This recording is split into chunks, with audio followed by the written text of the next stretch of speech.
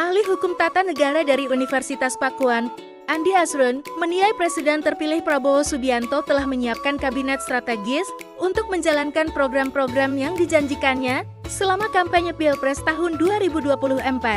Selain program-program unggulan, seperti makan bergizi gratis, Prabowo juga menegaskan akan melanjutkan kebijakan Presiden Joko Widodo Jokowi seperti hilirisasi. Menurutnya, salah satu prioritas utama Prabowo adalah meningkatkan kesejahteraan rakyat dan kualitas sumber daya manusia.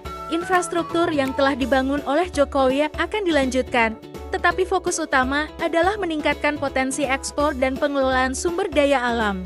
Andi Asun juga menekankan pentingnya hilirisasi tambang dan sektor perikanan yang berpotensi besar dalam menghasilkan devisa negara. Selain itu, sektor inovasi ekonomi kreatif dan UMKM juga akan terus digali untuk memperkuat perekonomian nasional. Selain itu, optimalisasi penghasilan BUMN juga menjadi salah satu prioritas Prabowo.